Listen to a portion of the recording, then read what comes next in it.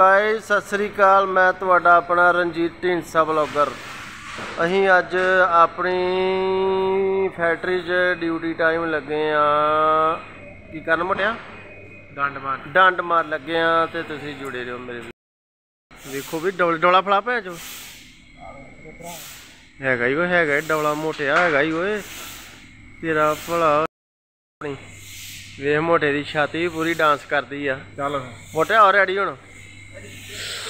ਲਓ ਵੀ ਮੋਟਿਆ, ਲੈ ਵੀ 1 2 3 4 5 6 7 8 9 10 11 12 13 14 15 16 17 19 20 21 22 23 24 25 26 27 28 29 30 31 32 33 34 35 36 38 39 40 42 43 44 45 46 47 48 49 50 51 52 53 54 55 56 57 58 59 60 61 62 63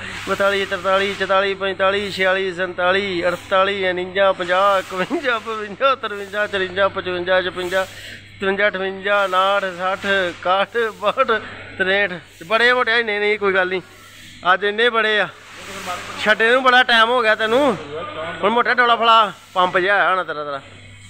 ਆਏ ਆਹ